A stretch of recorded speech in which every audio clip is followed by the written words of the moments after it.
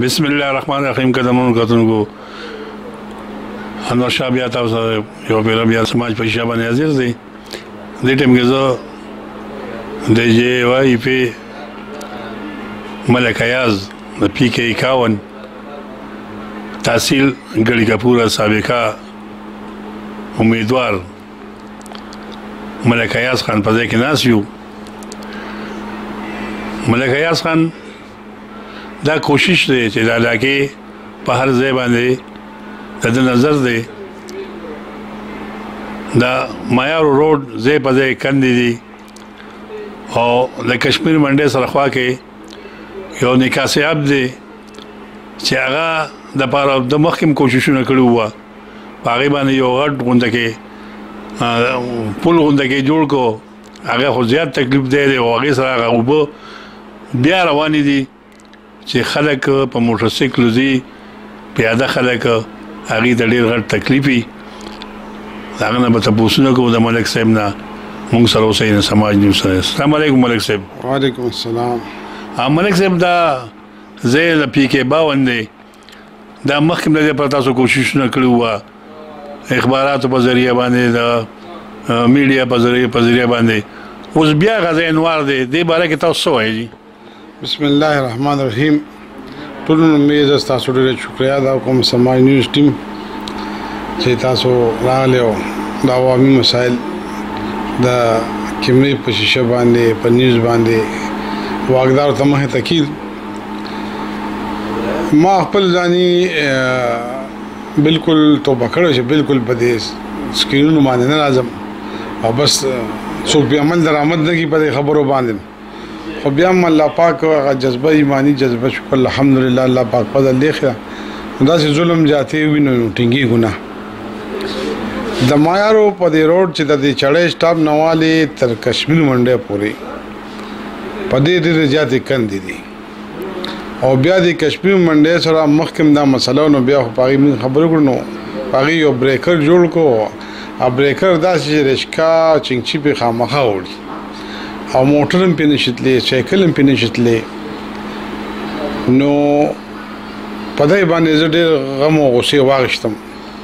شایا زمونږ د حکمرانان بیا دا غنه علاوه چې دا کوم بمردان کې عمله سرکاري مثال ډي سي شو اي سي شو یا د سا کم ټچ محکمه را سي ان ډبلیو شو یې دا خلک چته تل دي دي ته مونږ په کیمرو باندې په ټي وي ګانو باندې په اخبارونو باندې دا په خیال دا شپږم او متم کال دی چې په دې دا مسلې شروع شوې دي او ډېر غټ غټ کندې دي پکې روزانه چې کندې نه څوک چنچي داسې تختې څوک داسې دي څوک موټر سایکل نو اکسیډنټ وشي په دوی مدرو په دې باندې اکسیډنټ کیږي او په کشمیر منډه سره خو وبره بهيږي او غټ بریکر دی تبه دا بس سم یو غر دی ګاډي په هم نشي غته نو انتهایی تکلیف دی د خلکو ته بیا د معیار د مقبره سره داسې یو ناله ده نو او ټول مقبره ته ځي مقبره امړي دي او ټول په عذاب کې دي نو زما خدا اختیار دي دومره چیرې دا خپل आवाज او دا خپل مسله چې دا چا حکومت هم دی او په څوک انتظامی دی ته مخ ته کوم او الچی او کو نل کې خپل غد جهادي هغه خپل زبانی هغه دغه چې کوم نه چلو زه په دې حیران یم چې هر کال هر کال پس د هر محکمې په بجټ کې دا امندار پن وتوي دا چې کوم ریفیرینګ د بارګ دي نو زه د سین ډبلیو ولتا دا ویم چې تاسو دا پن څه کو په کرونو روپو چې کم دی دا تاسو سالانه دی ریفیرینګ د پرګ دی نو دا شپږم هم کال دا ټیکېږي نه بیا زه د ډي سي ته هم شین حسابدار دا الله نه لګو یریګا دا ستا په بل ای سي ګان دی په مایا روډ باندې روزانه زی راځي دا غټ غټ افسران پر راځي نو کم اس کم دا الله نه ویریږي دا کم عذاب روان دی د مهنګای عذاب روان دی دا یو عذاب دی په موږ باندې خدا نه خواسته دا سزا بران نشي خانه جنگي ته جوړ نشي نو کم اس کم د دې چې خدا ذمہواري ده چیرې په دې خپل علاقه باندې نظر واچي به یې سم مسله ده نو چې کم پن د صوبایي حکومت نه یا د مپاک نه راځي نو تاسو خو پنځه تا کنه په مخ په مخ د ریفرینګ لپاره نو دا خو دا روډونه دا کندې په بند کې دا روډ سم کې او زه خو دې ته دا وایم چې دا ټول اختیار پاکستان نوار کړم تاسو دی او جوړول هم تاسو په لاس کې دا کوم خلک چې کوم دي بیوروکراتس دا پاکستان جوړول هم دي چې او نوارول هم دي چې خو دې جوړې نه دي نواري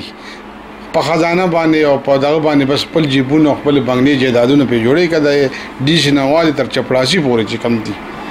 نو زه دې ته دا درخواست کوم چې په هفته کې دنه دنه د معیارو نواله د چړای سټاپ نه تر کشمیر منډه پورې در تر زر دا کندې بند شي او د دغه پیپ تنظیم دی وکړي شي دا بریکر دی ختم کړي شي او صدا سي طریقې چې پاسانه او بمځي نکاسیم کیږي او مدرات کم دي هم خلکو ته اساني که په هفته کې دا چرې ونه شو نو زه به برپور احتجاج کوم او د کشمیر منډې سبا روډ بندوم ان شاء الله په یوازې به بندوم خو بندوم به او دا خلک په پګوتا کوم او بیا په اخر کې دا خبره کوم چې کچریدي سميږي نه الله نه یریږي نه نو دا ویم چې خدای پاک داسې خلک د مخ د ځمکې نه لرې کې او سره د بچو یې تباه برباد کې چې پاکستان ته چې پاکستان قوم ته ترقی نه ورکي او دا خزانه خلکو دا ویني وینځوي شي نو سم شي که سمېږي نه الله پاکم بس خوار او زار کا چې دا عوام د غریبانو دا خبرې نه ورې تاسو نو دغه اخیر دغه چې موږ په خپل جلوس کو ٹھیک شي نن سبا او خاص کر په مردان کې د بجلی او د ګیس ډېر غټ لوډ شیډینګ دی د دې باره کې تاسو وایي بالکل دا هو زه عمرې له تلو ما الله پاک په فضل سره رالم حالات چې وکتل لوډ شیډینګ د